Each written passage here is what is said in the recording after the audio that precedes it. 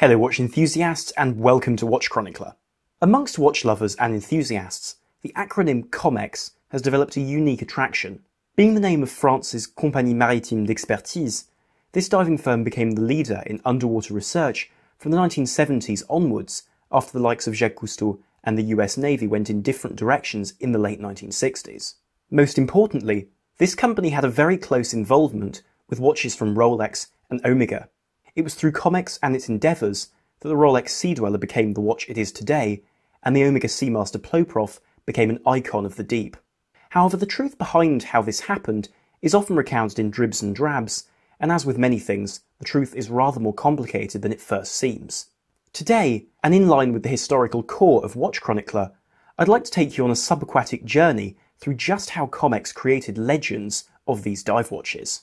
As a side note, as I go through this video, I will mention the sources which I can remember in order to allow you to go into more depth than is possible in an even remotely appropriate video length and learn a little bit more. To give you a bit of backstory, Comex was founded in 1961 and from the late 60s started to lead the field of technical and commercial diving.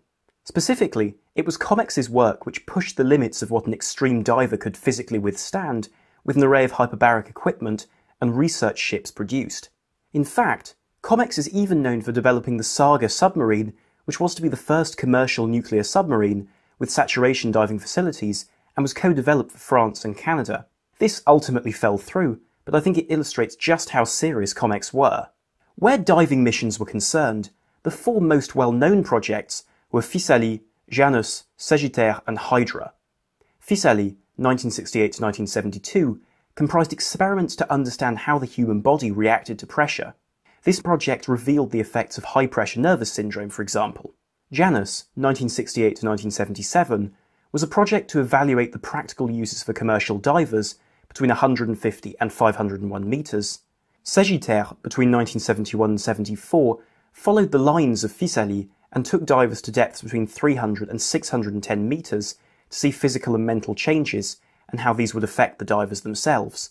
And then Hydra, from 68 to 92, tested the use of experimental gases to reach absolute depth records between 70 at the beginning and 1992 Hydra 10 701 metres in an experimental chamber on land.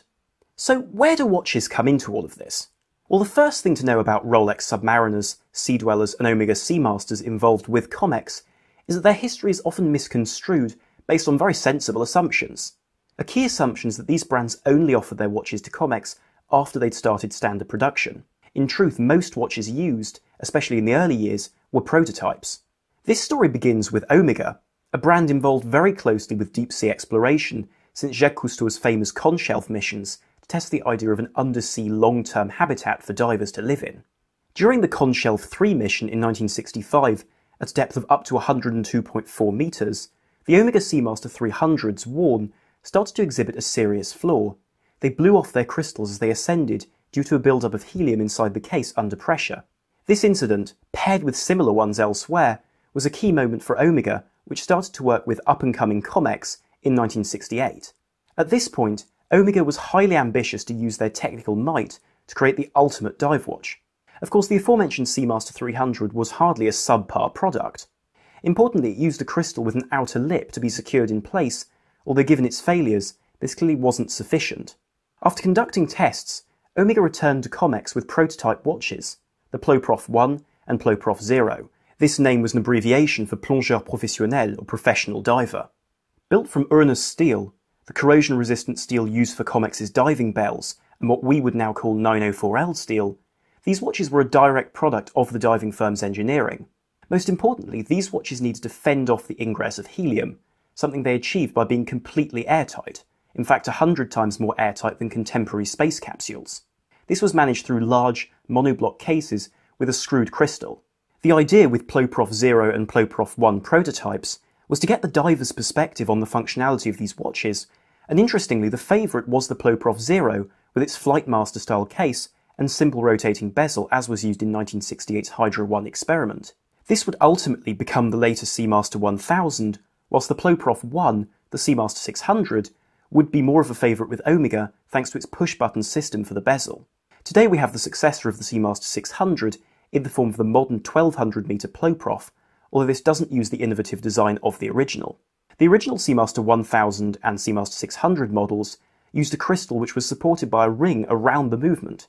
As pressure increased, it compressed the ring until, without breaking the seal, the hands were stopped by the crystal. This occurred at 1370 metres for the Seamaster 600, but to the best of my knowledge, nobody has put their Seamaster 1000 forward for a crush test, so we don't actually know if it would have fared any better. From what we know, it seems that Comex's divers simply found this variant a cumbersome and largely over-engineered option given the already limited use for bezels during saturation diving. It's worth also noting that the Ploprof Zero, or Seamaster 1000 used by Comex, was in prototype form and often appeared with experimental hands and an experimental bezel. These watches reached standard production in the 70s and were used extensively by the Calypso divers of Jacques Cousteau. These watches were tested from 1968 all the way through to the Sagittarius 1 mission in late 71, before at last Comex moved away from Omega to Rolex, the brand most often associated with this pioneering firm. Now, before talking about that, we do have to address which watch Rolex was proposing to use.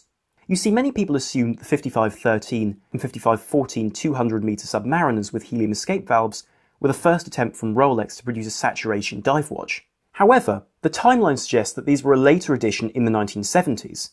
In the 60s, it was the Rolex 5512 and 5513 submariners, the 5512 being the chronometer version, which were used by Rolex for missions like, for example, the US Navy's Sea Lab, which began to get seriously close to the 200 meter depth limit. As such, when Rolex began work on the Sea Dweller in 1967, they were merely trying to make a deeper diving watch, as explained by the website Perezcope. During Sea Lab 3, however, the prototype single red 500 meter Sea Dwellers worn by divers began to explode on decompression, and soon after, Rolex fitted the iconic valve to relieve internal pressure. The story of how Rolex fitted the gas escape valve is varied, but it now seems fairly conclusive that it was the single red model worn by Dr. Ralph Brauer, a really rather remarkable man, by the way, and a pioneer of the understanding of high pressure nervous syndrome whilst working alongside Comex in 68, who first wore this watch. The double red version of the Sea Dweller came in 1969 when Rolex bumped up the water resistance to 610 metres perhaps in response to Omega's Seamaster 600.